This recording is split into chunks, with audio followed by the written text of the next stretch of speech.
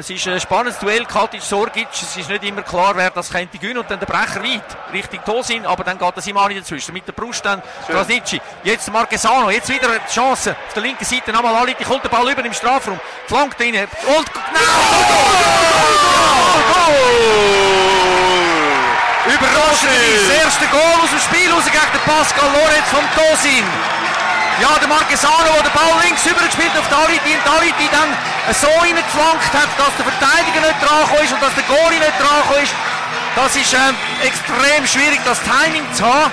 Live, live, Zürich live. Zürich live. Zürich live. Zürich live. Auf Zürich live.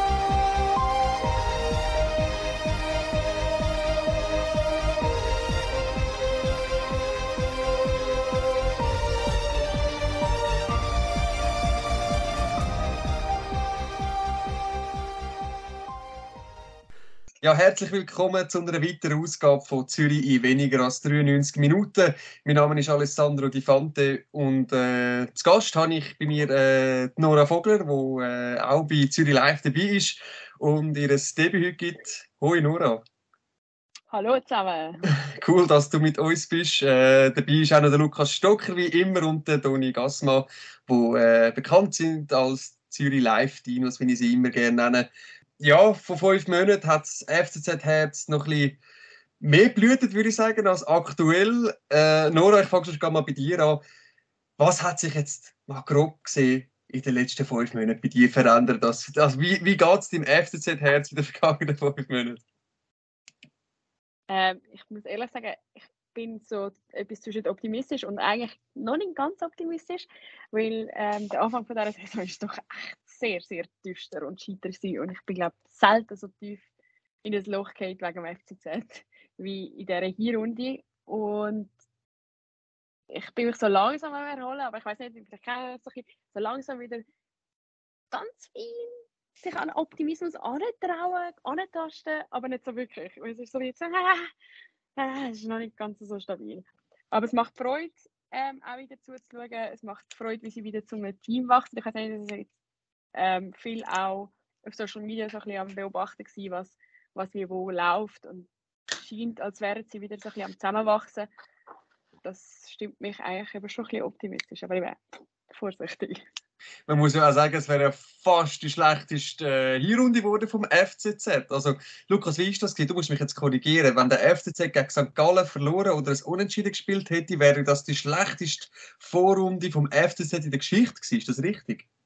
Ja, resultatmäßig äh, ist es nicht, nur knapp besser gewesen als damals im äh, 0304, wo der Lucien Favre dort äh, sehr ein schlechtes erstes Halbjahr hat.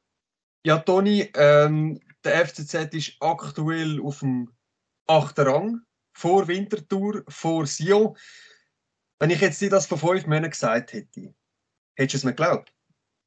Ja, ich hätte es mir schon vorstellen Vielleicht nicht, dass Sion so schlecht ist, das nicht unbedingt damals, aber äh, in der Tendenz vielleicht schon, ja.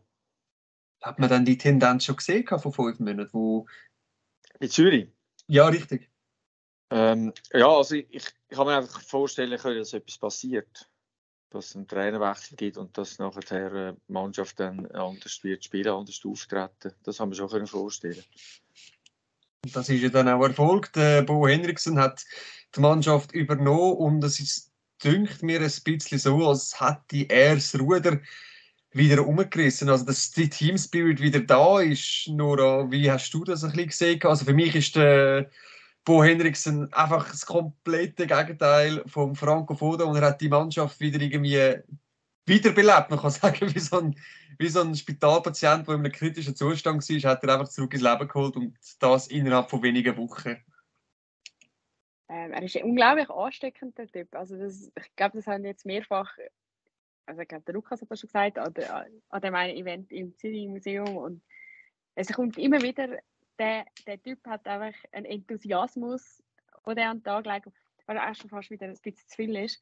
Aber ich glaube, das braucht Zürich so ein bisschen, dass, dass die lebendigen, lebendigen Trainer braucht der FCZ irgendwo durch, damit sie überhaupt an den Punkt kommen, wo sie auch wieder zusammenwachsen und zu einem Team werden. Und das schafft der Bo Hendrickson halt irgendwie.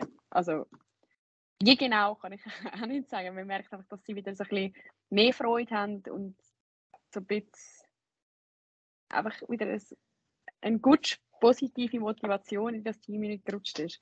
Und ich gehe fest davon aus, dass das eigentlich in erster Linie mit dem Trainer zusammenhängt. Ich würde also, weil er so, so ist, wie er Ja. ist.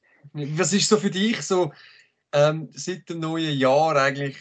Das sind die Partien gewesen, wo eigentlich das Ruder zum Umreißen gebracht haben. Also man kann sagen, der FCZ hat sich aufgebäumt. Ähm, äh, der Sieg gegen Genf noch im letzten Jahr ist so, äh, weiß auch nicht, irgendwie wie so ein Paukenschlag gewesen, wo die Mannschaft noch einmal so richtig wachgerüttelt hat vor der Winterpause und dann nach der Winterpause haben sie wieder richtig können angreifen. Was ist jetzt für dich so rückblickend auf die vergangenen Partien, die drei Matches, wo du denkst, okay, das sind die Matches, wo, wo, wo, wo am meisten etwas ausgemacht haben? Boah.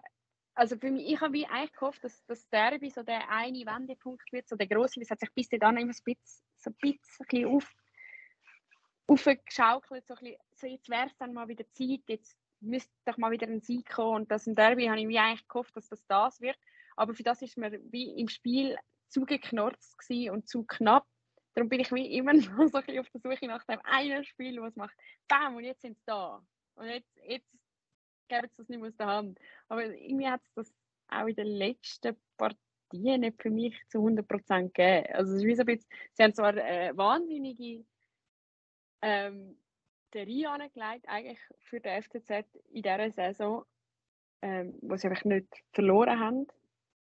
Und für mich ist eigentlich das Spiel gegen IB sehr stark gewesen. Aber eben, es hat mir das eine Wahnsinnsspiel, das ich gefunden habe, ja, mal, jetzt, jetzt sind sie wieder auf dem, auf dem Siegeszug, so richtig. Jetzt kommt da alles gut in dieser Saison. Das habe ich bisher noch nicht gesehen. Und darum finde ich es mega schwierig zu sagen. Es sind alles so, ja voll, jetzt, jetzt machen wir noch ein Goal. Oder, boah, jetzt müssen wir das einfach noch durchziehen. Irgendwie äh, ist dann wie nie ganz so sauber durchgezogen worden, wie ich mir das erwünscht oder eigentlich gehofft habe, damit das quasi wirklich wieder in Lauf kommt. Ja, man muss zwar eigentlich sagen, äh, ich stimme dir, ich stimme dir bei vielem zu, aber ich finde, der FCZ im Derby hat das Spiel gekehrt und also nicht, man hat gemerkt, wenn die Mannschaft wirklich will, dann können sie es. Und das haben sie auch gegen Luzern gezeigt, gerade im letzten Match, äh, wo wir äh, gesehen haben. Dort haben sie auch äh, das Spiel gekehrt, haben für mich einen soliden Match gemacht, ab- aber auch nicht gerade einen super Match. Und für mich das entscheidendste Spiel von der Rück also von Hi- äh, von der Rückrunde, Entschuldigung, das ist äh, das Spiel gegen IB gewesen. Ähm, stimmt, Toni und Lukas, stimmen ihr mir dazu, dass ich denke, dass das Spiel gegen IB das stärkste war, auch wenn es nur ein Unentschieden geworden ist? Also ich würde sagen, erstmal würde ich das nicht auf drei Spiele festmachen, sondern es sind ganz viele kleine Schritte. Aber äh, das ist sicher ein, ein Ausschlag nach oben. Wobei IB diesem Spiel auch nicht so gut war. Ähm, das ist vielleicht ein Punkt. Aber äh, es, ist, es hat mehrere Heimspiele gehabt, die sehr gut sind. Ist auch auswärts ähm, in Sion, wo es relativ, kann man sagen, relativ souverän dann gewonnen haben. Also, wo, wo es nicht so in Gefahr geraten sind oder wenig in Gefahr geraten sind. Also, sie haben, sie haben schon einige Spiele gehabt und sie haben auch viele Schritte kleine müssen machen, weil sie sind recht im, im Seich gewesen. Also, es ist, äh, es sind ja mal sieben Punkte gewesen. Und jetzt äh, sind es äh, jetzt sind es gewisse Punkte Vorsprung. Und äh, da, das haben wir müssen aufholen mit, mit äh, einfach kleinen Schritten. Und äh, dass man halt dann 2-1 gewinnt und nicht irgendwie 3-0, das ist, äh, das ist auch ein Teil von dem. Also, wenn man in einer so einer Negativspirale drin ist oder so im Negativen rein, dann ist nur, nur schon mal das Unentschieden wäre schon, schon gut, dass nicht der Trend äh, ähm, weitergeht. Man, man vergisst immer, und man denkt immer, ja gut, ähm, jetzt, jetzt ist es wie, wie, früher, aber das ist nicht. Das ist auch, sagen wir auch bei, bei Mannschaften in anderen Ligen oder in, in anderen Ländern oder auch so in der Schweiz. Das ist, wenn das mal so im Seich ist, das geht, das geht extrem, das ist ein extremer Aufwand, dass überhaupt nur schon, dass es nur schon besser wird und nicht das. Das heißt, das besser werden heißt, muss er besser als der Gegner sein und alles zusammen. Und das, sind, das geht nur mit kleinen Schritten und das haben sie von mir aus gesehen so gemacht. Und ich würde jetzt nicht sagen, ja, es braucht irgendwie einen überragenden und dann ist wieder alles wie, wie, wie, wie letzte Saison. Also, so, das wird es auch nicht mehr in dieser Saison. Was gefällt dir denn aktuell am meisten beim FCZ? Was, was, was, was, macht dir, was macht dir Freude, wenn du aktuell am FCZ zuschaust? Der Teamzusammenhalt. Äh, die, äh, vorher in, in, dem ersten Saisondrittel ähm, haben wir sich ratlos angeschaut. Man hat, man hat umgegiftelt gegenseitig. Das ist nicht mehr, äh, es ist äh, eine positive Stimmung auf dem Platz. Natürlich wegen der Resultate, das macht sehr, sehr viel aus. Dann ist es viel, viel einfacher. Aber auch wenn es mal nicht läuft, wenn sie Goal überkommen, wie jetzt beim IB gegen IB, wo sie zweimal den Ausgleich bekommen, oder wie bei dem 1-0 gegen Luzern nach dem Penalty, sie, sie bleiben irgendwie ruhig. Und das macht sehr, sehr viel aus. Und das, das muss man ein paar Spiele, auch wenn es jetzt negativ laufen, müssen wir ein paar Spiele aushalten. Dann, dann sagt man, oder, ähm, ist wirklich grundsätzlich etwas besser. Und ich, ich glaube das eben schon. Also ich, wenn man jetzt sogar noch so ein Spiel nimmt, ich würde sogar noch zurückgehen. Irgendwie zum Beispiel das 0-0 in Basel oder das 0 die gegen IB, das, sind, das, das ist in einer schwierigen Situation, sind das Rissschritte wo man einfach, das Basel ist man einfach hinten nie gestanden, aber man hat, man hat die Böllen rausgehauen und, und äh, der Katic ist äh, mehrmals da Blut überströmt auf dem Platz gestanden, äh, ja, immer wieder, immer wieder von dem ersten Zweikampf, den er hatte und dann dort so, dann immer wieder müssen die Tourbahn wechseln. Also das sind so die kleinen Schritte und ich glaube, Zürich hat das irgendwie sehr gut äh, beleidigt mit diesen kleinen Schritten. Also das Hast Gegenteil von dem, was bei Sion ist. Jetzt ein kleiner Schritt nach oben. Was denkst du, wie viel hat da der Bo Hendrickson beigetragen? Würde ich jetzt, wenn ich jetzt mal sage, Bo Hendrickson hat da dazu 90 Prozent beitragen, dass jetzt der FCZ sehr gut da steht. Würdest du mir zustimmen oder würdest du mir nicht zustimmen? ich will nicht zustimmen. 90 Prozent, das finde ich extrem viel, äh, dass einfach ein Trainer dann das macht, weil am Schluss müssen die Spieler machen. Der Trainer kann einen, einen, einen Schalter äh, also er, er, kann grundsätzlich mal einfach durch seine Art äh, vieles verändern. Er kann in einen Schalter drücken, aber die Spieler müssen es umsetzen. Es ist genauso wie der Trainer von mir, der nicht schuld ist, immer wenn man verliert. Das wird immer am Trainer festgemacht, aber die Spieler sind auf dem Feld, die verlieren. Ähm, so sehe ich den Anteil kleiner, aber, aber äh, im Verhältnis zu anderen Trainern schon sehr, sehr groß.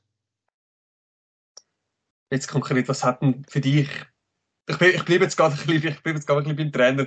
Ähm, weil ich merke, du bist, du bist jetzt nicht irgendwie, du hast jetzt nicht irgendwie, ähm, du hast jetzt nicht irgendwie, du lobst ihn jetzt nicht mit den grössten Tönen.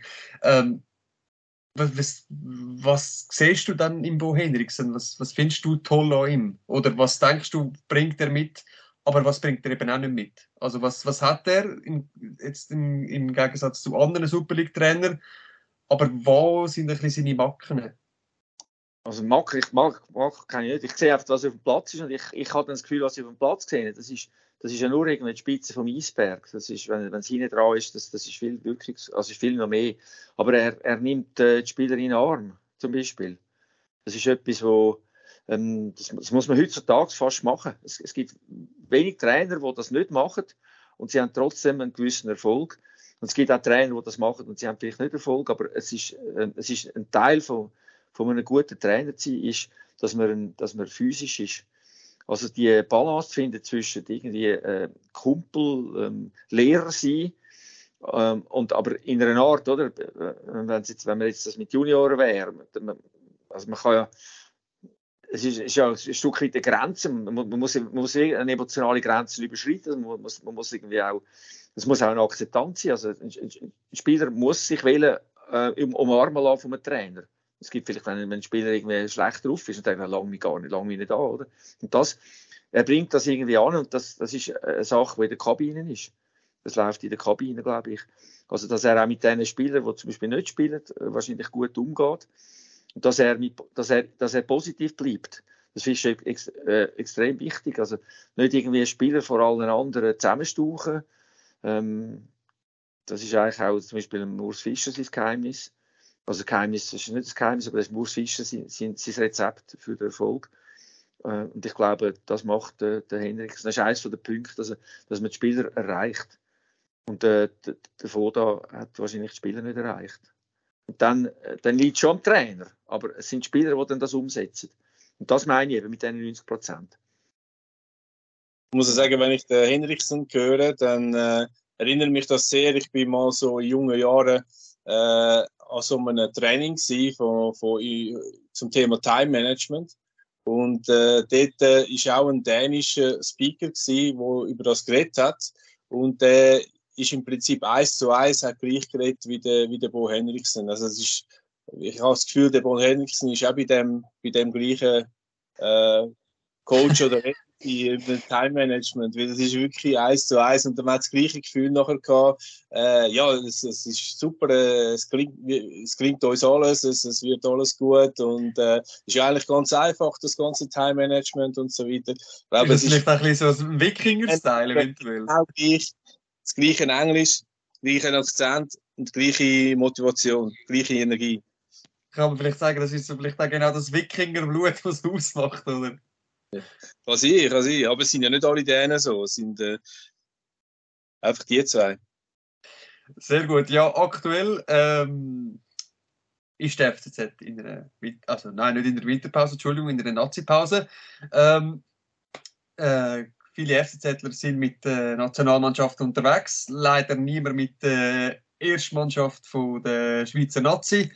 Ähm, was sowieso ein bisschen äh, nicht so oft der Fall ist, seit äh, Murat Jakin äh, Nazi-Trainer ist. Nora, denkst du, äh, Jakin hat im Generellen etwas gegen FCZ oder sind die FCZ-Spieler einfach nicht, nicht, einfach nicht allzu gut? Was soll ich sagen? Er ist vielleicht nicht so kritisch zum, gegenüber dem FCZ wie ich gegenüber ihm. Nein, ähm,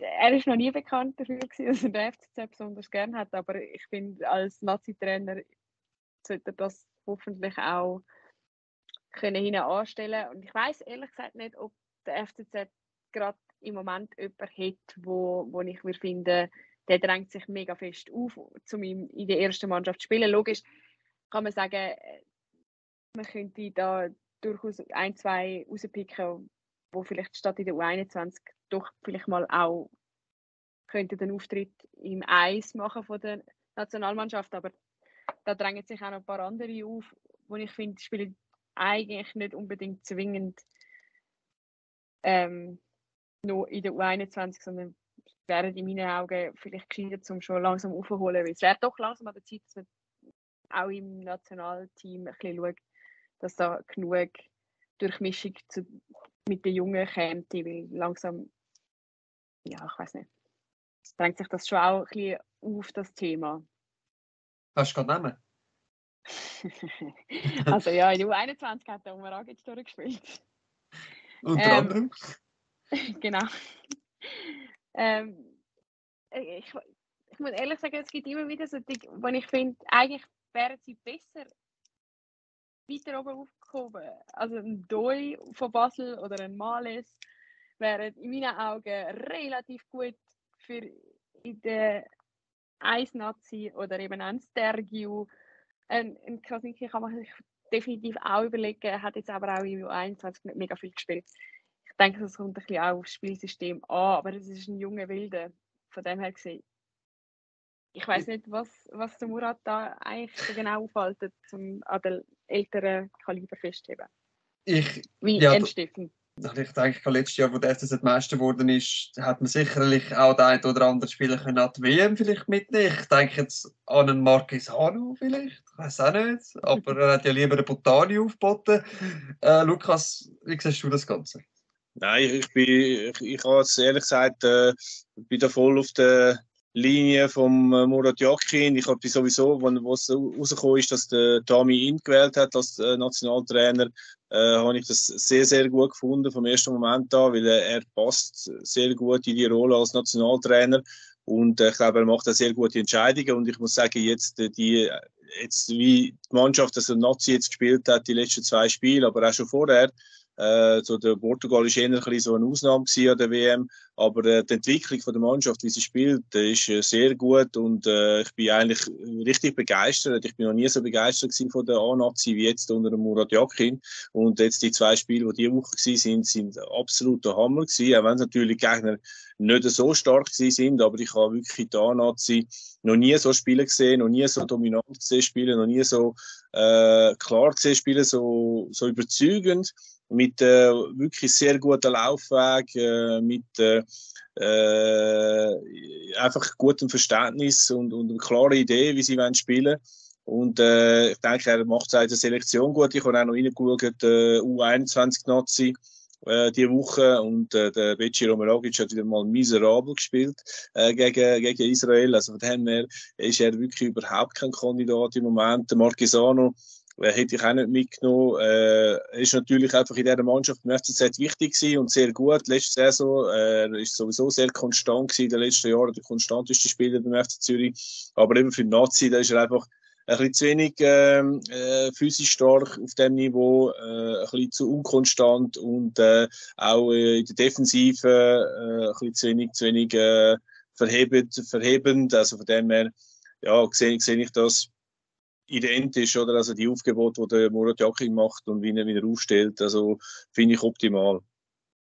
Für mich ist noch der Punkt, also sagen wir jetzt letzte Saison sind ja eigentlich die, mit, mit Ausnahme von Marquesano und von Brecher, sind äh, die Schlüsselspieler Ausländer gewesen. Also so viel haben wir dann gar nicht können nehmen äh, auf diesen Positionen. Und der Gemaili, der ist ja gewesen, der ist ja zurückgetreten von der Nazi. Das ist auch noch ein Punkt. Und äh, wenn ich die Möglichkeit habe, vielleicht von zwei ähnlich guten Spielern, dann würde ich den Jünger mitnehmen. So hat er sich dann zum Beispiel jetzt für den Rieder entschieden, äh, für die WM. Ja, und da kommt eben noch dazu, er schaut sehr stark auf den Formstand und eben äh, im Herbst ist ja der Formstand von Marquesano nicht so stark gewesen. Was ich äh, interessant finde, ist, wie sie, wie sie gespielt im Moment, oder? Nazi ist, äh, für mich äh, erinnert es extrem an Boudou Glimt. Also, sie haben jetzt äh, sehr ähnlich gespielt, wie Boudou Glimt damit gespielt, wo ich, äh, mit Ballbesitz und der Gegner wirklich weit hinten reindrängen, äh, einfach so spielen, dass der Gegner überhaupt nicht kann in den Zweikampf hineinkommen. Einfach immer, wenn man am Ball ist, äh, immer genug Abstand hat zum Gegner und wenn der Gegner angreift, sofort den Ball spielen und äh, immer eine gute Passoption haben, zwei, zwei Passoptionen, wenn möglich, und dann eben über die Seite mit Dreieck angreifen. Und der FCZ spielt jetzt unter Bo Henriksen eben auch ein bisschen in dieser Nacht. ist ja weiterhin so, dass äh, der FCZ äh, Ballbesitz äh, Fußball spielt, wie unter dem Foda. Man hat das stark geändert im Vergleich zur letzten Saison, wo man auf Konterfußball gespielt hat.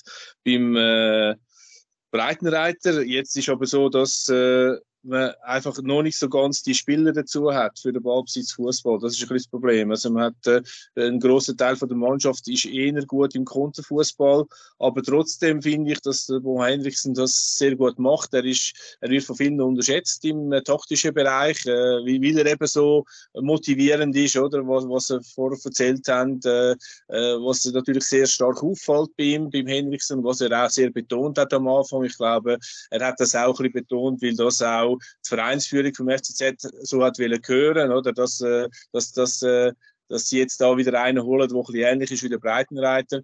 Und, äh, aber, aber man darf nicht vergessen, dass eben der Henriksen taktisch sehr versiert ist und man sieht das in jedem Spiel.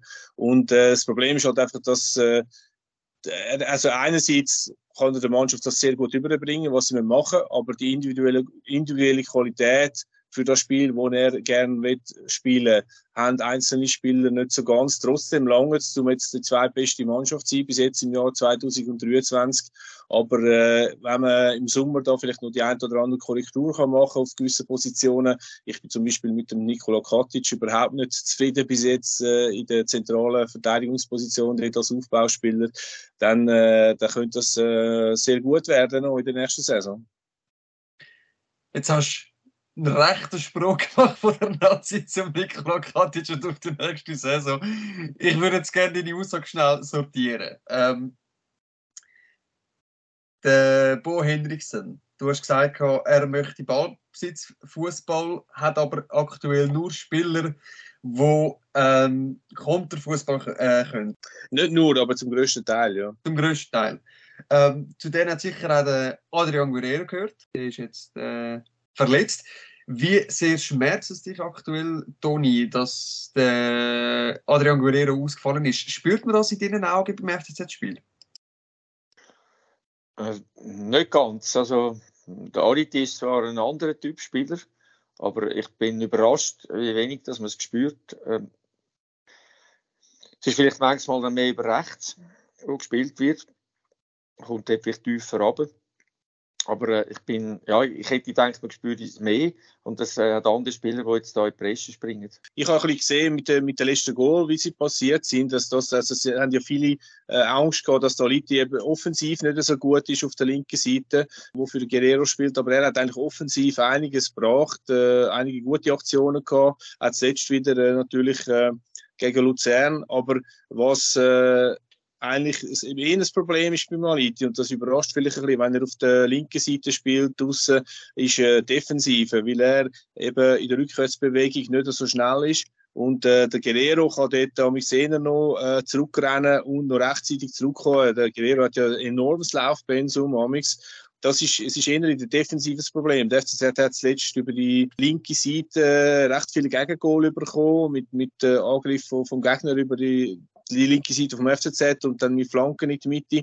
Und das ist eben äh, vorher unter dem Guerrero ein bisschen mehr im Griff gewesen, defensiv. Hingegen offensiv denke ich, dass äh, Daliti das auf eine andere Art und Weise macht als der Guerrero, aber äh, genauso gut. Ich bin in dem Fall ganz fest bei dir. Ich finde auch, der Aliti ist eigentlich ein, ein super Spieler. Aber ich glaube, er, er, ist nicht ganz so komplett, wie das der Guerrero ist, in meinen Augen. Der Guerrero ist wirklich eigentlich ein sehr kompletter Spieler gegen Kinder und gegen Führer hat er relativ viel Zug und das hat der Aliti nicht im gleichen Maß. Und das merkt man schon in so einem Spiel, wenn, wenn er gegen Führer zieht, dann weiß einfach, dann ist er, fällt er nachher hin und, und umgekehrt. Also das ist ein bisschen, wenn er hinten parat ist, dann ist er nachher ein bisschen langsam zum mit Druck gegen Führer aufbauen. Und ich hoffe mega fest, dass er das noch irgendwie so ein bisschen kann, dass er noch daran arbeiten kann und dass er noch in die Rolle reinwächst oder dass er da das Laufpensum vielleicht noch anbekommt.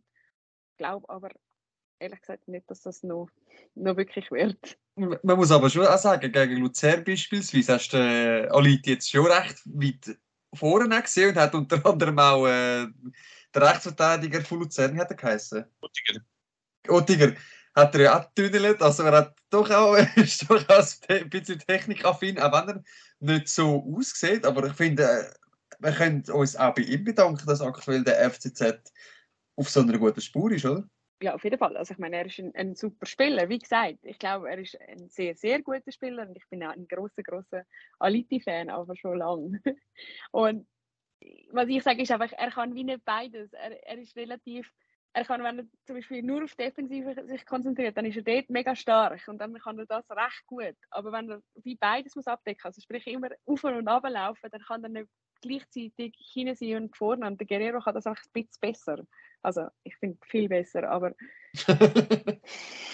ja, der Liti ist für mich äh, noch einfach äh, ist eigentlich der gewesen, der Spieler, der die Basis ist von dem, von dem erfolgreichen Team, der nachher äh, den Meistertitel geholt hat. Oder? Das ist, man hat die, die ganze Zeit Probleme gehabt, immer beim FCZ auf der linken Seite.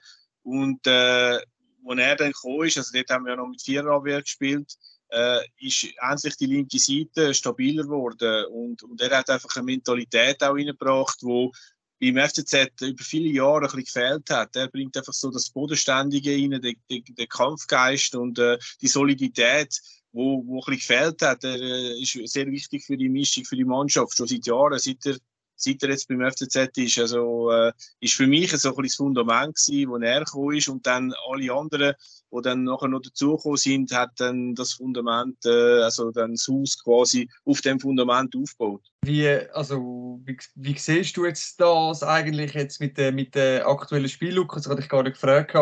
Ähm, zwei Siege, zwei Unentschieden im letzten, eine Niederlage gegen Lugano. Es hat nicht, also Spiel gegen Lugano, also das ist jetzt absolut desaströs gewesen, würde ich jetzt mal sagen. Wie hast du jetzt die, die, was hast du für einen Eindruck von den letzten paar Spielen? Jetzt unter anderem jetzt eben, wenn wir jetzt auch, sagen wir jetzt mal, wir nehmen jetzt mal noch die Neuverpflichtungen drin, die der FCZ im Winter tätigt hat. Ja, es ist, äh, also ich das Lugano-Spiel nicht so schlecht gefunden, ehrlich gesagt. Äh, es sind einfach äh, zwei Konter gewesen. Also gut, das zweite Gegengol, dort hat man einfach nicht geschlafen vor der, vor der Pause. Äh, das erste Gegengol hat Okita dort den Ball sehr äh, äh, unglücklich, nicht unglücklich, äh, ein bisschen zu nonchalant verloren vorne. Grundsätzlich eben, ich meine, die Resultate sind ja jetzt gut, jetzt im 2023, man ist die zweitbeste Mannschaft äh, bis jetzt in dem, in dem Kalenderjahr dass man gegen Luzern 2-1 gewinnen obwohl man schon wieder einen äh, skandalösen Penalty bekommen hat. Wobei man muss sagen, der, der Gemelli, sein Foul in der zweiten Minute es auch eine Penalty geben aber dann dort, wo es dann tatsächlich Penalty gepfiffen worden ist, das ist jetzt wirklich gar nichts gewesen. Ja, trotzdem hat man das Spiel noch können drehen und äh, das ist sicher positiv. Man, man muss einfach, äh, man schießt immer noch, noch nicht so viel Goal, ähm, aber äh, man ist natürlich unter dem Bo Henriksen defensiv viel, viel, äh, viel, viel stabiler geworden und äh, von dem her, auf dem kann man aufbauen. Und vor allem haben wir jetzt ja auch einen, der regelmäßig trifft mit dem Tosin.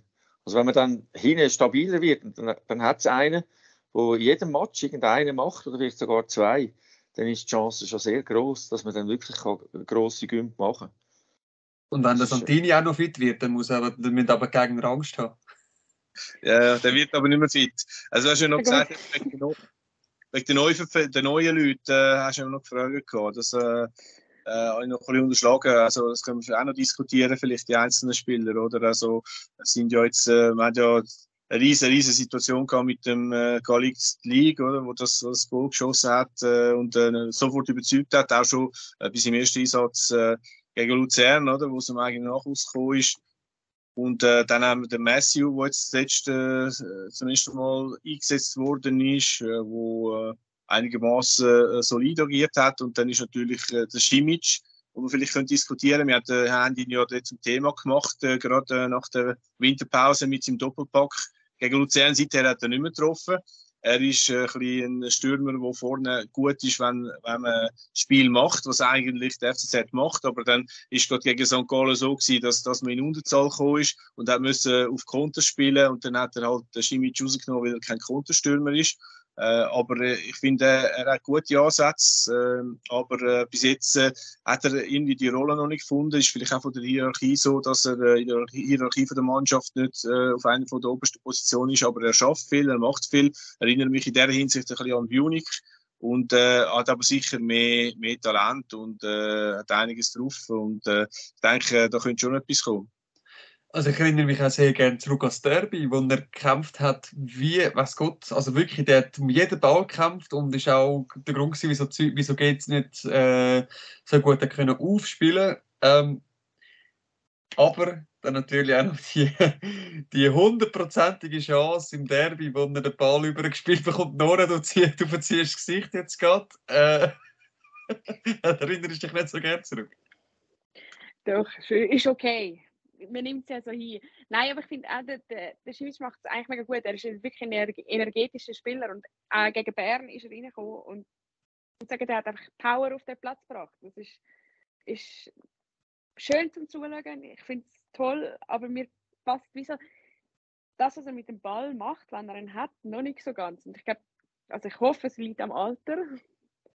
Ähm, eben, darum auch. Also an der Gen kann es sicher nicht liegen. Nein.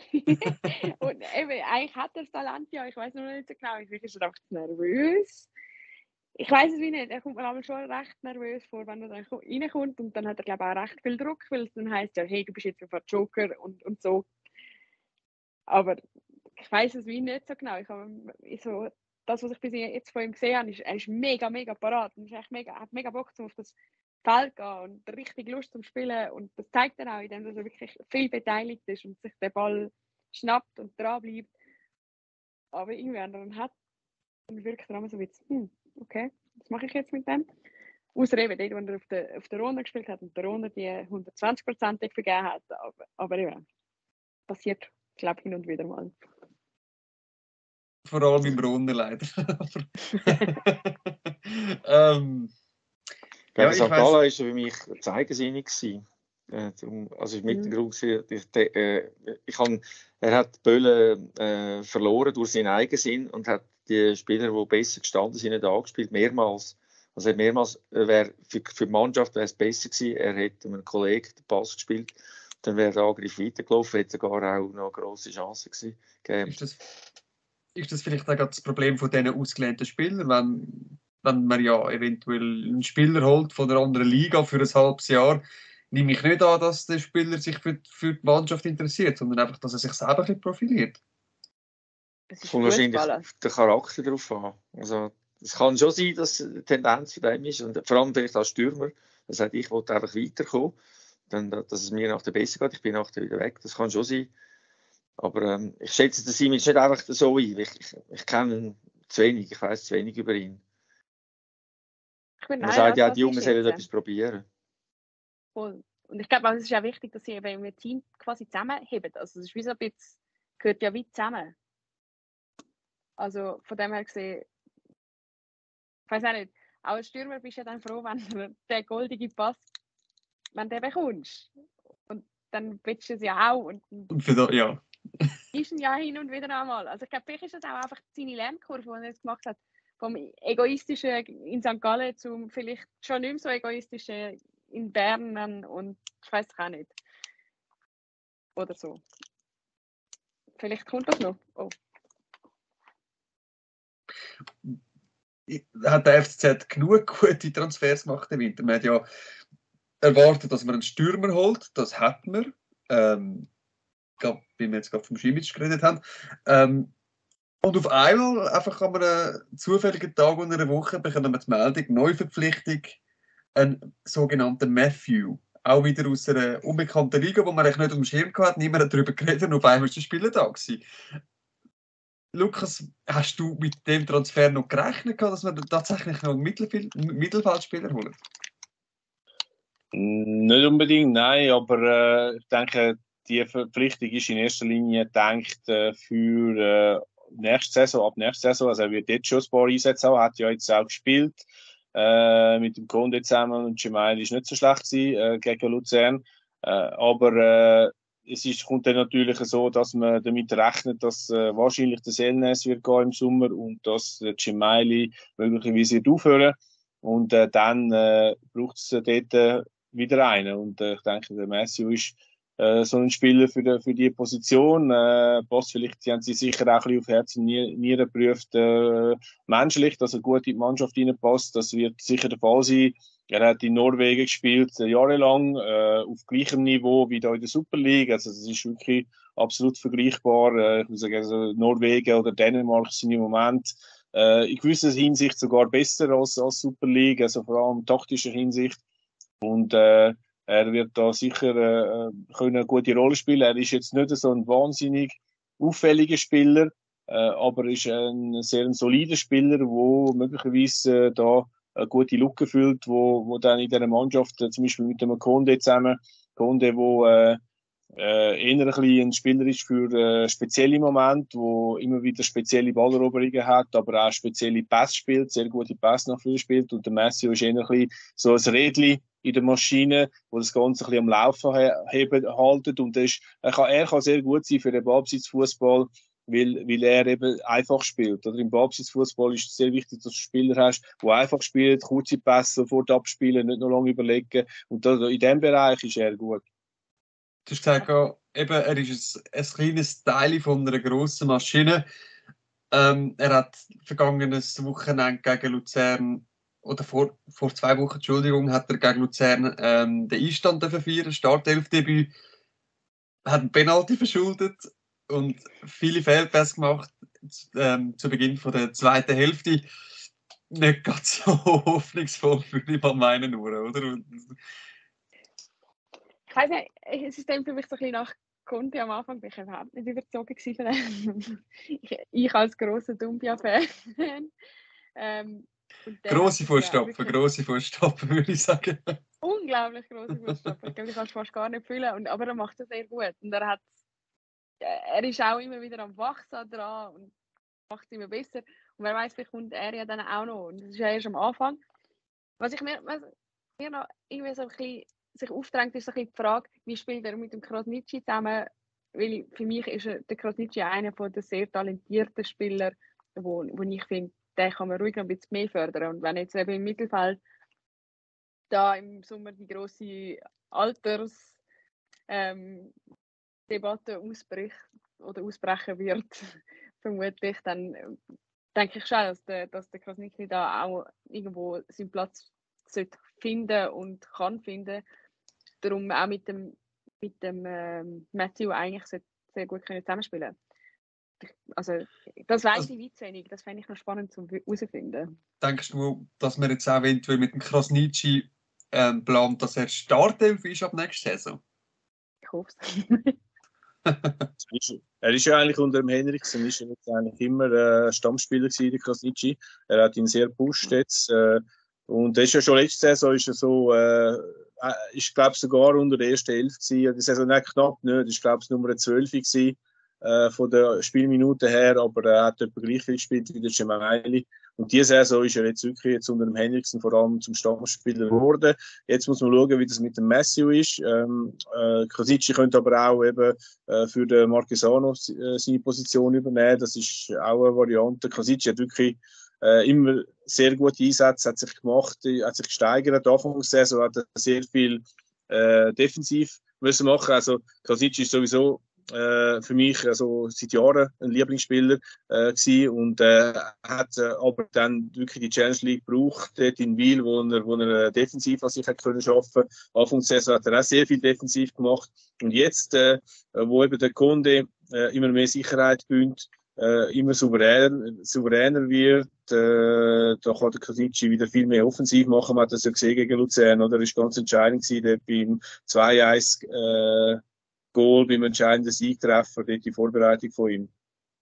Ja, das ist äh, für mich der entscheidende Schritt gewesen, in diesem Spiel. Also Zürich hat mit, ähm, der Messi hat so eine schlechte zweite Halbzeit gespielt und wo wir ihn rausgenommen haben, hat, hat Zürich in dem Moment, bevor er rausgenommen wurde, ist eigentlich mit zehn Halbspielern gespielt. Wo der Krasnitsch reingekommen ist, haben sie mit elf Halbspielern gespielt. Also mit, mit einem Spieler mehr. Und das hat den Umschwung gebracht, von mir aus gesehen. Er hat auch mehrere sonst gute Aktionen gehabt. Und es ist auch dann äh, so gewesen, dass man können sagen, der Sieg ist auch verdient nachher, nachdem er eigentlich die erste Viertelstunde gegen Luzern mit diesen drei Grosschancen äh, überstanden hat. Also ist es eigentlich gerade gut, dass der Cemaili das Zepter abgibt, der jüngeren Generation, dem Cemaili Junior und Krasnitschi. Ähm, und, ähm, und der Selnes auch äh, abgewählt. Aber ich, kann man das irgendjemand von euch erklären? Wieso spielt der Selnes nicht mehr? Er hat doch so gut gespielt eigentlich noch in der Vorrunde. Also ich komme nicht ganz raus. Er ist von mir aus gesehen einer, ja, vielleicht, aber es ist von mir aus gesehen einer, der oft auch das Spiel noch langsam macht. Und ähm, ich, ich, für mich ist es irgendwie, wie, äh, ich, ich habe mir überlegt, ja, jetzt spielt er nicht mehr und Zürich läuft es besser, als wenn er, wenn er noch dabei war.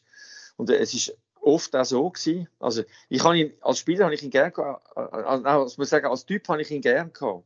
Aber es ist oft so gewesen, dass er dann umgeschaut hat und er wäre er wäre der gewesen, der müssen, äh, da sein. Er hätte der, gewesen, der müssen die Schritt machen.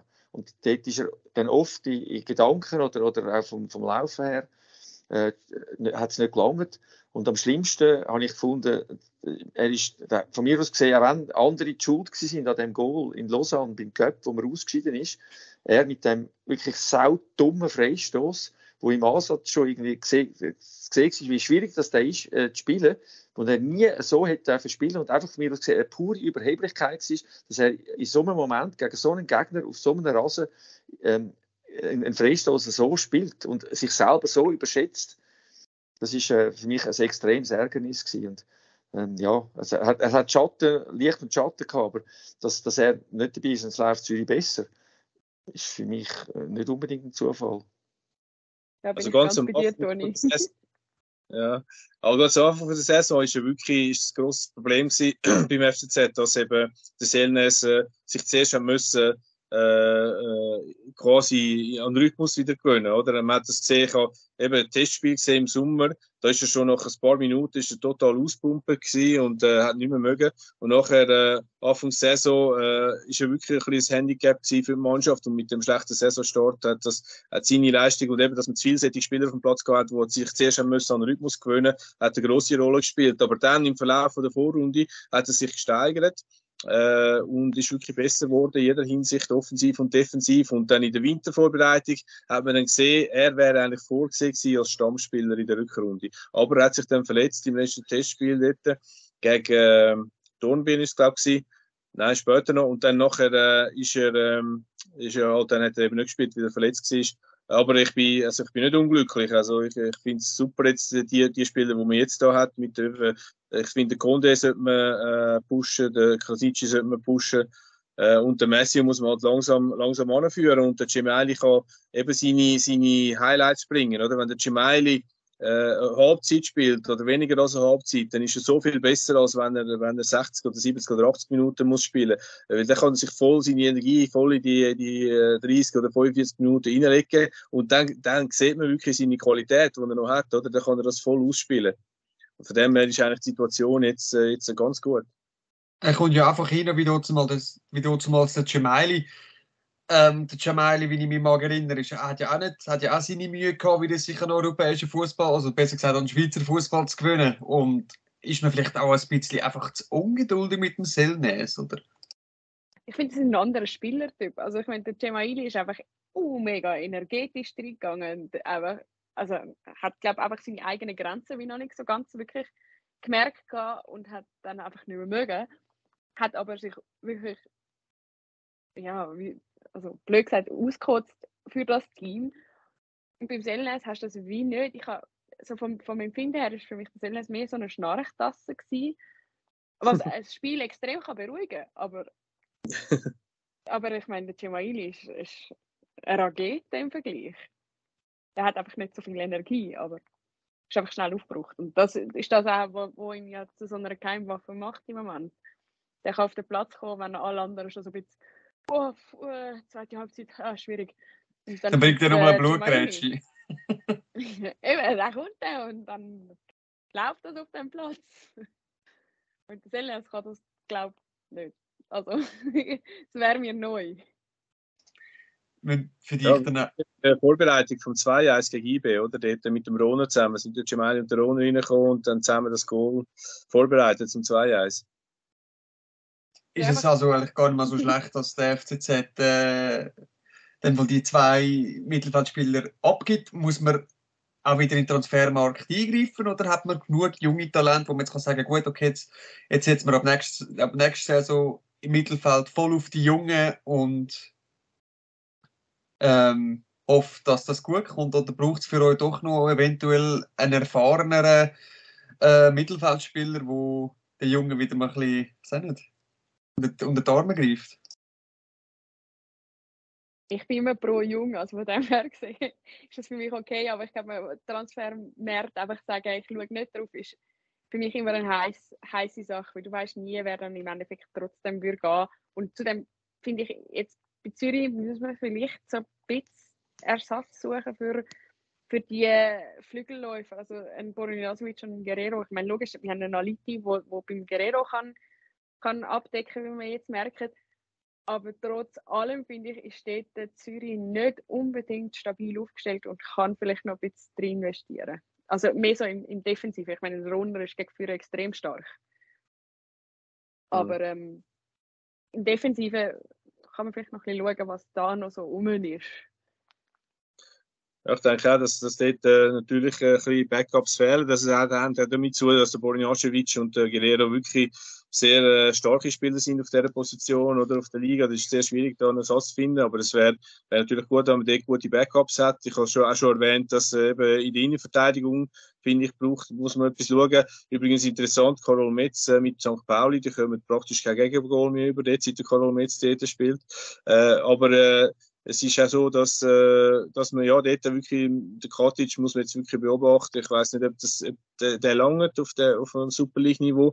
Äh, ansonsten, ich habe jetzt auch wieder so äh, Juniorenspiel gesehen und es ist beim FCZ bleibt eigentlich wie alles beim Alten, dass einfach im zentralen Mittelfeld hat man Unmenge an Talent. Also es ist auch jetzt wieder so, wenn du 18 gehst schauen, da, da sind, die haben drei zentrale Mittelfeldspieler auf dem Platz und du hast, du, schaust, was auf der Ersatzbank ist bei denen und dann siehst irgendwie, ah, die wechseln jetzt noch den, der Captain von der italienischen U17-Nationalmannschaft ein. Oh, sie wechseln jetzt noch der, der Junior, vom Zavai, der, der, der Junge, äh, wo äh, im letzten U17-Länderspiel äh, von der Schweiz in zwei riesen Weitschuss geschossen hat, einen mit dem rechten Fuß, einen mit dem linken Fuß. Und äh, das, das sind sie einfach auf der Bank, oder? Also, sie haben irgendwie fünf absolute Top-zentrale Mittelfeldspieler in der U18. Und, und vorne, wenn du schaust, wer vorne spielt im Sturm, irgendwie, ja, das sind eigentlich, der eine ist ein gelernter Außenverteidiger, der andere ist, ist, ist noch viel zu jung, der, ist, der kann sich physisch noch nicht durchsetzen. Also, es ist, es ist wie, wie immer, oder? Also, es ist, und von dem her denke ich eben, dass man, dass in der ersten Mannschaft kann man einfach schon mal zentrales Mittelfeld kann man schon mal reservieren auf die nächsten sechs, sieben Jahre für die Jungen. Äh, vielleicht braucht es dann eben noch einen erfahrenen, wie, der, wie jetzt der Matthew, den man geholt hat. Ansonsten muss man wirklich so ein bisschen auf die anderen Positionen schauen, äh, dass man externe holt. Ich bin überrascht, dass du so negativ gegen den Katic redest. Äh, ich finde, er macht es eigentlich nicht schlecht. Natürlich hat er ein paar Aussetzer, äh, ein paar viele Aussetzer in den letzten Spielen, da gebe ich dir recht, aber ich finde ihn eigentlich ein robuster äh, Verteidiger, der wo, wo wirklich auch eine Kämpfermentalität hat. Also ich erinnere mich gerne an das Basel-Spiel zurück, wie wir vorher darüber äh, diskutiert haben. Oder auch ähm, ja, allgemein. Natürlich ist er auch fehleranfällig, äh, fehleranfällig aber ich denke, er braucht sich jetzt einfach wieder fangen. Nicht. Mir gefällt er in der Konstellation nicht. Also ich meine, als Innenverteidiger bist du Abwehrchef und irgendwie habe ich immer wieder das Gefühl, wenn er auf dem Platz steht, stimmt die Abstimmung mit mit rechts und links nicht, nicht gleich gut, wie, wie das sollte. In meinen Augen. Es, ist, es funktioniert einfach nicht gleich einig und nicht gleich als quasi als das Gesamtpaket, wo, wo, die, wo die Verteidigung in diesem System eigentlich darstellen Ich meine, logisch, er ist Extremkämpfer und er geht auch gut rein. Manchmal nicht ganz zum richtigen Zeitpunkt und nicht ganz an der richtigen Position, aber er geht trotzdem rein und ist parat. Aber ich irgendwie, es ist mehr so ein, nicht festmachbares Ding, wie ich habe das Gefühl, es ist mir so im Verlauf von so einem Spiel, scheint das mit links und rechts zusammenzuspielen, nicht im Ganzen so zu harmonieren. Ich habe, ich habe das beim, beim Cresio habe ich das letzte Saison zumindest nie das Gefühl gehabt. Ähm, jetzt hat er ja noch nicht so viel Spiel gemacht. Ähm, was ich eigentlich recht schade finde, ich würde ihm sehr fest die Chance geben, weil er macht es ja grundsätzlich, er ist sehr ein stabiler Spieler, wenn er auf der Höhe ist, in meinen Augen. Er ist im Moment nur leider einfach nicht auf der Höhe. Er hat jetzt gespielt zweimal oder in der Startformation äh, mit der Nationalmannschaft äh, von Kosovo. Er hat äh, dort äh, neben sich oder ist der, der Romani von, von, von Napoli, wo italienischer Meister wird werden. Äh, und er hat sehr guten Nebenmann dort, hat, hat äh, gespielt von Anfang an, da Liti nicht. Äh, hat auch noch, ja, ich muss sagen, bei dem Gegengol gegen Andorra hat, äh, hat das Kopfballduell verloren, der, der Coesio, aber hat dann selber noch eine Kopfballchance, gute, zum, zum noch ein Siegesgoal schiessen. Also ich denke der Coesio ist nicht top drauf im Moment, aber äh, für mich trotzdem äh, im Moment besser als der Katic. Der Katic, der einfach äh, in der Rückwärtsbewegung extrem langsam ist, äh, wo immer wieder Laufduell verliert, wie zum Beispiel gegen Servet bei dem, bei dem äh, 1-1. Er ist einfach nicht schnell genug und Kopfballduell gönnt er auch praktisch keins. Also, äh, wo er eigentlich, auch wenn er in der besseren Position ist, selbst eben gegen Luzern, beispielsweise gegen den Chader, so ein kleiner, klein gewachsener Stürmer, relativ klein gewachsen, hat er jedes Kopfballduell verloren. Und äh, mit, mit dem Ball am Fuß kann er eigentlich nur einen Pass äh, zum Mann spielen, wenn er einen stehenden Ball hat. Bei stehenden Ball einen Freistoß hinten raus kann spielen, dann kommt der Ball an. Aber aus dem Spiel raus, dann macht er so viel Fehlpass und das, das ist einfach, äh, wenn man Ballbesitzfußball spielen, nicht so, nicht so gescheit, oder? Also von dem her, äh, ich hoffe, vielleicht steigert er sich noch, äh, aber äh, ich sehe es im Moment eher ein bisschen skeptisch. Gut, dann hat Nora Flügel gesagt, äh, Lukas sagt, Innenverteidigung brauchen wir neu. Toni, der äh, Jurendic lässt sicher zu. Jurendic, packt den Stift aus. Toni, was hast du für einen Wunschspieler in welcher Position? äh, ich, ich will mir das nicht ähm, anmaßen, da irgendwie etwas zu sagen. Ich sehe, ich sehe es zu wenig in der Konstanz im Ganzen. Wenn ich noch meinen Senf dazugebe. Wieder mal. mir mehr Medi. Den würde ich sehr ah, gerne sehen. Wo würdest du ihn gerne sehen spielen?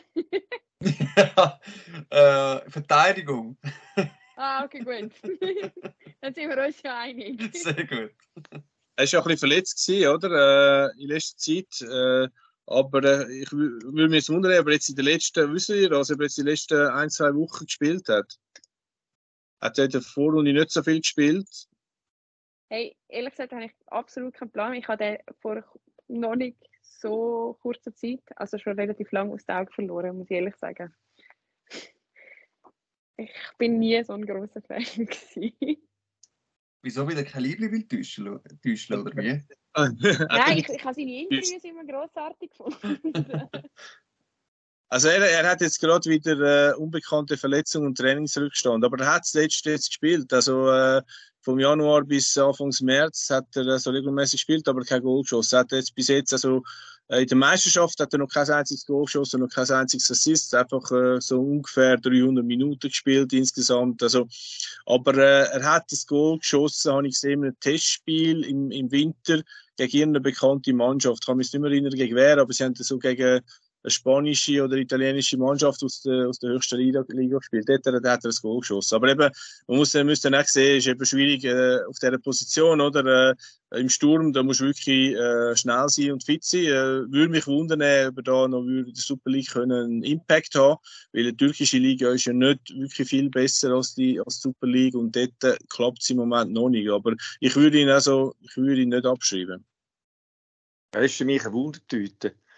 Er macht immer wieder wahnsinniges Zeugs. Er ist auch einer sicher für in der Garderobe, wo eine wichtige Funktion hat, einfach weil er äh, einer ist, der viel Spaß reinbringt. Aber er ist äh, sehr verletzungsanfällig. Also er hat jede Saison fehlt er über längere, mehrere Wochen, weil er verletzt ist. Und äh, je älter er wird, habe ich das Gefühl, desto mehr kommt das. Ja, das würde ja auch zum Alter passen irgendwo durch im Alter kommt das einmal so ein bisschen mit den Verletzungen, wo dann einfach mehr kommen oder wenn, dann ist der Trainingsrückstand plötzlich größer und irgendwie rennst du dann eigentlich immer dem, dem Ideal, das du damals vor deiner Verletzungsphase gehabt hast, nach. Und also erreichst es aber gibt auch Ausnahmen, wie zum Beispiel äh, ein, äh, ein David Galla, oder? Der, der, der hat dann am Schluss schon auch, aber der ist dann so alt gewesen, aber der hat dort eine Phase gehabt, wo er, wo er jetzt so im Alter ist, wo der Mimedi, wo er dann fast nie verletzt war. Und weil man, man, trainiert vielleicht auch ein bisschen bewusster, aber ähm, das ist natürlich, sagen wir, muskuläre Geschichten, das ist, äh, wenn du eine Veranlagung hast, das ist äh, schon ein Problempunkt. Es gibt einfach Spieler, die viel damit muskuläre Probleme haben. Und da, also sind wir uns einig, Stürmer. Sind wir uns einig, es wäre ein Risiko, aber es wäre ein Risiko, das man bei Zürich Live gerne würde sehen.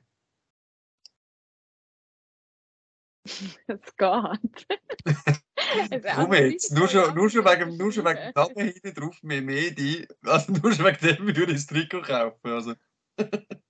Da regt in mir schon Emotionen. Ich, ich reg mich manchmal auf, weil ich denke, oh, so, und so, so leicht und locker, aber auf der anderen Seite merke ich immer wieder, ich, obwohl ich weiß, was er schon alles gemacht hat und viele Goal gesehen habe, viele Matches und so, auch früher auch noch bei Zürich und hat zum Teil wirklich wahnsinnige Kisten gemacht, äh, unterschätze ich ihn gleich auch immer wieder. Und das finde ich eigentlich schön. Er, er, er, begeistert mich auf eine Art. Und ich finde ihn einfach, vom Typ her, finde einfach, der, äh, er ist einer, wo, ich glaube auch, äh, wo, wo, wo jetzt, wenn man so, so, so ein bisschen schauen kann, vielleicht äh, dort Zürich, Kololi, Relifi, äh, ähm, Hekran Cresio und so, die Spieler, es, es hat ein bisschen einen Graben gehabt bei Zürich, habe ich das Gefühl gehabt, dass der Graben haben wir aufgehoben und er wäre einer, der Mehmedi wäre einer, der graben kann und zuschütten, wo, wo, wo, ähm, wo die verschiedenen ähm, Mentalitäten in einer Mannschaft kann zusammenheben das, das würde ich ihm zutrauen. Und einfach auch die Erfahrung, ich finde ihn eigentlich schon ein guter Typ. Er macht, er macht also auch sonst, auch sonst was er noch macht, äh, neben, also neben dem Spielfeld finde ich eigentlich äh, sehr, sehr viel. Also, es äh, hat eine extrem starke soziale Ader. Und, äh, Wieso, jetzt hast du mir fast gut. sympathisch gemacht. wirklich, du bist ein super Verkäufer. Ja, wirklich. Also ich, nicht, ich, ich bin nicht generell so, aber wenn ich, äh, wenn ich äh, von jemandem überzogen bin, dann tritt ich äh, für jemanden ein. Dann äh, Eben, mache ich das sehr stark. Ja. das macht ja aus jetzt. Welcher Position würdest du gerne sehen, Toni? Als Ersatz, für, als Ersatz vom Tonino? Toni? Oder? ich, ich kann gerade vorne kann viele Positionen spielen. Aber ähm, wahrscheinlich nicht, zent nicht zentral in der Spitze. Aber ich kann in viele Positionen spielen. Ich kann schon, ja, so, so ein bisschen wie die Nationalmannschaft am Schluss vielleicht. Lukas? Nein, das mit, mit keinem, mit keinem, nein. Schon im Hinspiel habe ich mit keinem Tischler. Ich denke, ich bin Profifußballer und bin da nicht zum äh, Lieblingstischler. Großes Kino! Das ist Grosses Kino. Gut, da braucht es keine Aussage mehr. Da braucht es wirklich keine Aussage mehr. Okay. Ähm, ja, Herr Jurendic, ich hoffe, Sie haben da äh, Ihr A4-Blatt vollgeschrieben mit unseren Namen und äh, hoffentlich hat Sie auch den Toni Gassmann überzeugt, den wir Medien eventuell zurückzahlen. Nein, Spaß beiseite. Ähm, wenn wir jetzt gerade schon mal ähm, im nächsten Sommer sind, gehen wir schon zwei Monate zurück. Mai, wo wird der FCZ stehen? Am, am, am Schluss von der Saison. Gerne in die Stille, weil wir alle nicht Nicht so wissen. schön, kann man das sagen, Schluss. ei, ei, ei, schwierig. Uh, schwierige Frage. Äh, mm, Schauen alle Glaskugeln die werden. ja, ich finde aber, es könnte wirklich kritisch werden. Ich bin Jetzt, echt noch nicht so. Ich bin echt noch nicht so überzeugt. Also ich meine, nicht kritisch im Sinne von, boah, Barrage, wir steigen ab. Das sehe ich nicht. Alles andere ist ein Win, finde ich. Alle- Alles andere nehme ich. Also, hey. Nein, aber ich glaube, Barrage, Barrage würden wir gewinnen. Und Sion ist im Moment doch auch einfach, ja, eher Mismo wie etwas anderes und das klingt gut, aber Shooten ist, glaube ich, im Moment nicht so ihr Ding. Ähm, und darum habe ich dort nicht mega Schiss. Aber ich glaube, viel weiter rauf schaffen wir es nicht mehr. Ich habe also eher bei ihnen positiv gestimmt. Äh, ich denke, es wird aber trotzdem schwierig, noch einen Europacup-Platz zu erreichen, weil äh, es gibt einfach so viele Mannschaften, die auch relativ gut in Form sind und auch ihre Punkte werden machen. Also dem her, äh, aber ich denke, es ist, ist noch möglich, einen Europacup-Platz zu erreichen. Und äh, ich denke schon, dass es der FCZ dann äh, gegen Ende von der Saison wahrscheinlich nicht mehr mit dem Abstiegskampf zu tun hat, so wie es im Moment läuft. Man muss ja sagen, es ist eigentlich gar nicht mal so unrealistisch, dass der FCZ eventuell, ich sage nur eventuell, europäisch kann spielen nächstes Jahr. Das ist ganz verrückt. Wieder einmal mehr, die Super League ist wirklich eine, Bu- eine Wundertüte. Also es könnte jetzt so sein, dass wir jetzt, weiß Gott, jetzt äh, Gewinnserie anlegen und am Schluss plötzlich auf dem dritten Platz sind. Ja, sehr ausgeglichene Liga, mit, mit äh, Ausnahme von, von einer Mannschaft, die eigentlich nicht in dieser Liga spielt, sondern in einer anderen weiter oben. Für mich ist der Punkt, der noch eine Rolle kann spielen der Göpp. Ähm, wenn man jetzt schaut, wie Lugano das letzte Jahr dann am Schluss abgesackt ist, weil sie äh, alles auf den Göpp gesetzt haben. Also, sie haben, sie haben, äh, mit, sie haben so Einzelspieler, die eine enorme Qualität haben in, der Mannschaft, wahrscheinlich äh, besser als Zürich. Aber wenn, sie, wenn, wenn der Croci Torti dort auch wieder darauf setzt, dass er gewisse Spieler schont, und äh, dass er in diesen Geldmatch die kann voll belasten Wobei, vielleicht hat er die Situation jetzt ein bisschen weniger. Da, damals hat er ja unter anderem zum Beispiel mit Ziegler gemacht, einfach mit, mit älteren, mit Maric, mit, mit, auch mit älteren Spielern. Äh, dann könnte es etwas sein, oder vielleicht auch taktisch, oder, dass, dass er dort etwas macht und ein Spiel äh, verschenkt oder weggibt. Und so hat, also es haben ja mehrere Mannschaften, eigentlich alle Mannschaften, die vorne dabei sind, also Basel, IB, Servet und Lugano, die sind im Cup, also alle Mannschaften, die vor Zürich sind. Ich sage, äh, für mich so, ich habe das Gefühl, Zürich kommt auf den sechsten Rang. Das ist so etwas, wo ich das Gefühl habe. Also ich, ich, ich stelle mir vor, dass sie noch vor GC kommen. Und Also Das dann, ist sicher das? Pflicht. dann wären sie siebten, oder? So, dann, noch- dann müsste es noch einen Rang weiterführen kommen. Dann. Toni sagt Sechste. Lukas, was sagst du? Ja, also ich denke auch, dass es in die Richtung geht, grundsätzlich. Äh, es ist ein grosser Range, der offen ist. Äh, aber ich würde auch etwas Gleiches sagen. Aber ich würde es nicht ausschließen, dass man vielleicht überraschend, sensationell noch einen Europacup-Platz erreicht. Das wäre dann wieder, ich meine, wieder, wieder typisch FCZ, oder? Also Rollercoaster, kein anderer Club in der Super League gibt so starke Aufs und Abs wie der FC Zürich. Das ist einfach das Markenzeichen. Ja, also gut, gut geht es jetzt. schon. Aber Luzern nach, nach oben, die haben ja auch immer wieder so. Aber die, bei denen ist es halbjahresweise. Und, und zwar Mhm. ganz regelmäßig. Also wirklich so über, über Jahre. Extrem. Weißt du, nicht, nicht absteigen und dann nachher Meister werden. Also so ist Luzern dann doch nicht. Ja, nein, Meister werden Nein, das nicht, kann aber, nur aber, aber äh, schon Das ein paar Mal, wirklich. paar Mal Tabellen. Letzte. oder? Letz, Seoane. letzter Platz, Titel, also das ist, das ist ungeschlagen, würde ich sagen. Das ist Ja, ja, schon das, das schon. Meister geworden sind sie nie, aber, äh, aber äh, eine ganz schlechte Saison und eine ganz gute Saison. Sie sind irgendwie unter Ja. den drei Ja. Letzten, also mehrmals hintereinander unter den drei Letzten gewesen und dann wieder unter den drei Besten. Mal irgendwie gut angefangen und dann die zweite Saisonhälfte völlig abgesackt. Oder unter dem Mhm. Seane nachher dort vom letzten Rang dann weit führen können. Du darfst einfach als Zürich-Fan kein schwaches Herz haben. Nein, leck mir. Das ist wirklich seit all diesen Jahren immer, immer, immer, also immer schlaflose Nächte. Das ist wirklich ganz schlimm. Ähm, Nora, ich habe dich jetzt gar nicht gefragt, was ist deine Tendenz? Ich bin wirklich einfach noch nicht so überzogen. Ich muss ehrlich sagen, Zürich ist gut dran, aber genauso hat Basel jetzt langsam wieder ein bisschen einen Schwung oder vielleicht einen Schwung gegenüber geholt und GC, naja gut, GC, ja fair, GC holen wir noch. Vinti, vielleicht schaffen sie ja dann doch einmal noch etwas, wo man sagt, hey, wohl, weil die sind eigentlich auch immer in einem Aufwärtstraining, wo die geben sich eigentlich wirklich gut, finde ich, jetzt so langsam. Darum, das sind schon auch keine einfachen Gegner im Sinn von, die holen, ich weiß nicht, ob wir die holen. Also GC finde ich ist Pflicht, eben Vinti haben wir immer im Moment hinter uns. Bin mir aber nicht sicher, ob das so bleibt, weil wenn Vinti jetzt doch irgendwo noch findet, wir ähm, schaffen das, was wir jetzt die ganze Saison aufbauen, tatsächlich auch in einem Spiel auf den Platz zu bringen und das mehrere Spiele, dann ist bei denen, glaube ich, der Knopf gelöst und dann sind die gut dabei. Ähm, Basel, je nachdem, was jetzt das für eine Wirkung hat in der Conference League, bin ich nicht sicher, ob die tatsächlich immer noch im Abwärtstrend sind. Eben, Luzern ist eine Wundertüte, St. Gallen ist eine Wundertüte. Basel ist wirklich auch ein Wundertüte, wenn ich da schnell einhänge. Also, ja. die, die, die machen, weiß Gott, was für ein Spiel in der Conference League und dann verlieren sie gegen Lugano. Also, hä?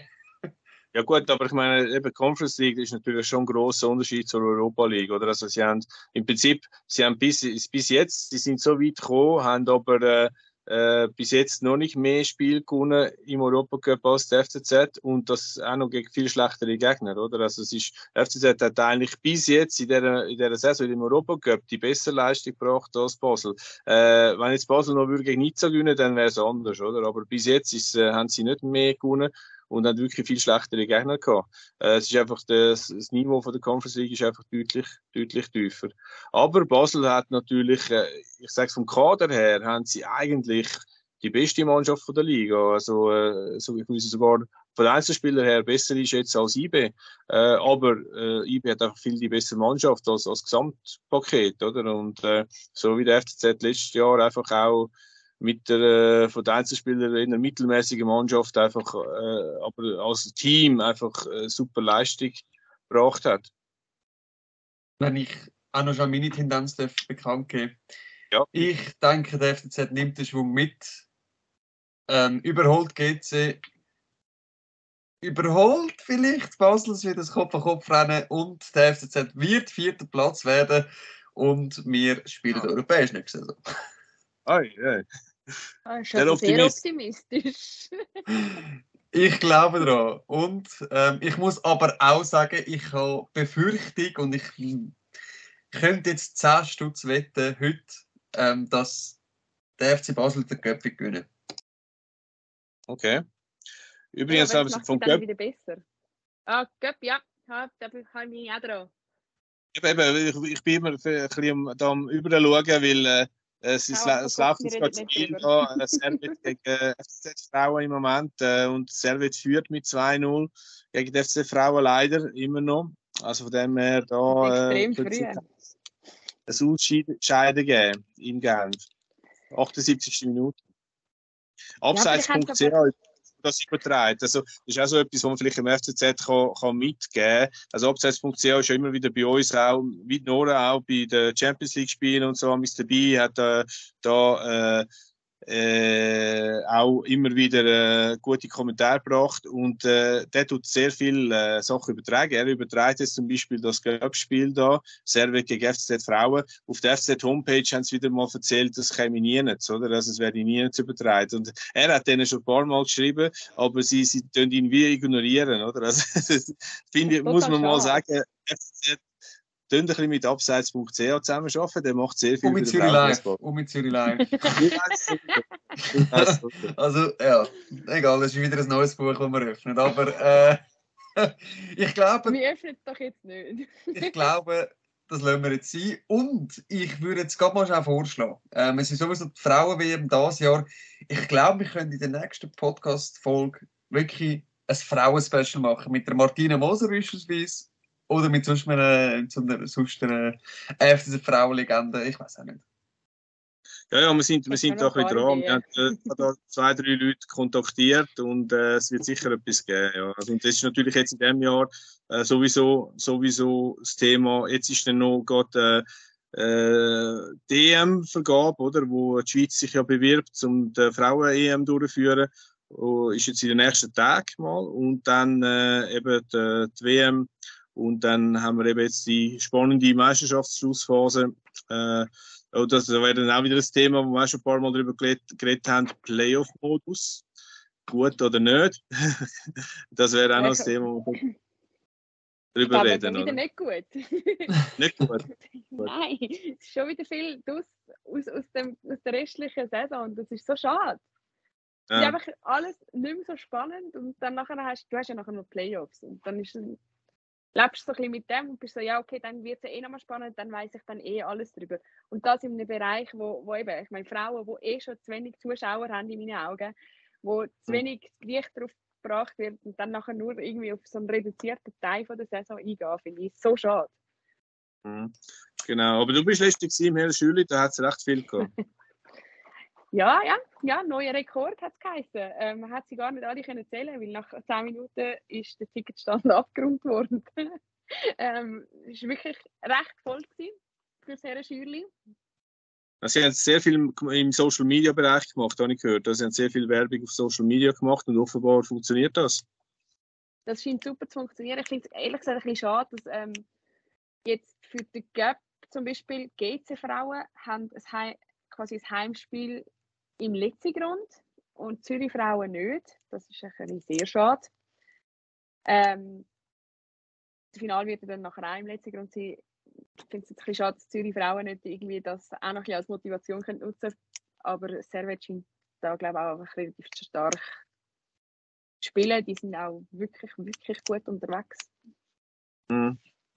Ich nehme die Unterhaltung sehr gerne in unseren Teaser für die nächste Podcast-Episode, weil wir haben nämlich, ja, wir sind jetzt auch schon äh, acht Minuten Mehr wie vor- 93. Oder, ja, wir sind bald in der 93. Minute, würde ich jetzt mal behaupten. Darum würde ich jetzt äh, ja, mal ein kurzes Andi zu dem Podcast äh, verkünden. Ich bedanke mich sehr gerne beim Toni, bei der Nora und beim Lukas für, äh, ja, auch nicht, für äh, die aktuelle Podcast-Episode und dass ihr auch meine Gäste gewesen sind. Ähm, hat wieder mal gut da nach dieser langen Zeit. Oder wie seht ihr das? Hat's, wie wie hat es euch gefallen? Sehr gut. Übrigens zum Thema Cup-Final. Also es gibt ein Zürcher Team, das im Cup-Final geschafft hat. Das ist wieder der Dani Gigax, unser ehemaliger auch äh, Podcast-Gast, äh, schon wieder im Cup-Final mit seiner U16. Äh, und das ist sicher etwas auch wieder das Highlight, Ende im April dann gegen Xamax. Wirklich sehr interessante Mannschaft. Leider, äh, die Saison ist ja eigentlich angedacht, dass äh, die beiden 15 oder jetzt 16-jährigen jungen Frauen, Lela Egli oder Sine Schertenleib, dort auch mitspielen in der U16. Das wäre ein absolutes Novum gewesen. Äh, das hat es noch nie gegeben vorher, dass sie auf dieser Stufe mitgespielt hätten. Aber ich habe jetzt gesehen, dass eigentlich, ich habe jetzt kein Spiel gesehen, wo sie wirklich dabei sind. Sie haben jetzt hauptsächlich wirklich mit der ersten Frauenmannschaft gespielt oder in der U21. Aber Göppfinal, Toni Gigas mit der U16 ist wieder mit dabei. Gratuliere auch da, für das. Und Und auf dem ersten. Platz mit großem Vorsprung in der Meisterschaft. Nicht schlecht. Schön. Ja. Ja. Dann darf ich jetzt meinen Podcast fertig machen. Sehr gut. Also, danke noch fürs Zuhören und bis zum nächsten Mal. Ciao zusammen. Live, live. Zürich live. Zürich live. Zürich live. Zürich live. Auf Zürich live.